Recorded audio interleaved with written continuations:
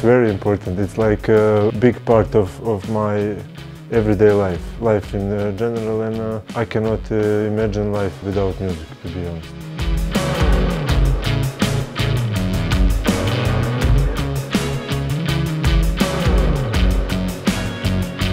I spend a lot of time uh, listening to, to music, also uh, expecting new music, discovering new new songs, new good music, new artists. So for me, it's uh, it's uh, it's the way of life. It's a long list. If you go in, in my phone or playlist, it, it's like everything, everything. But uh, for me, like when it comes to to music, it's uh, Iron Maiden and Metallica is like uh, those bands I don't even like uh, put in you say in the same list with others you know for me they're like on the one side and everything else is on the other side and I often catch myself listening to I don't know different kinds of music then for me it's like therapy okay now I go and listen to Maiden or Metallica and I go back to normal.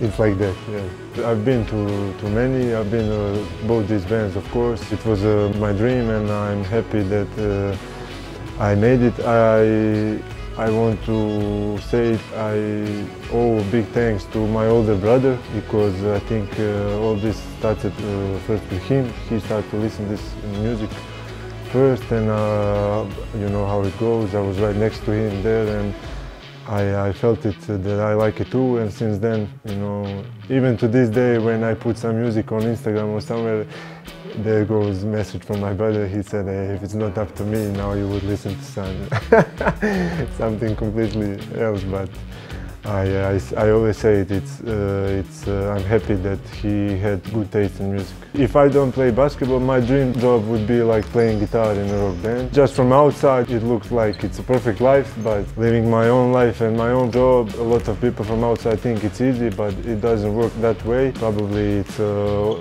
uh, same way in all other like jobs, but for me that is like to play guitar in a rock band, like play some good solo in front of 100,000 people, I don't think it's better than that.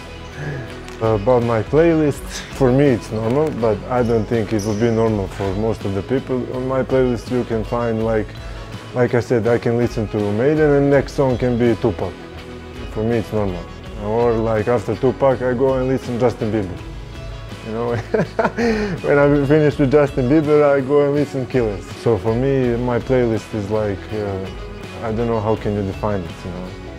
So I think that's why you should go and check my playlist.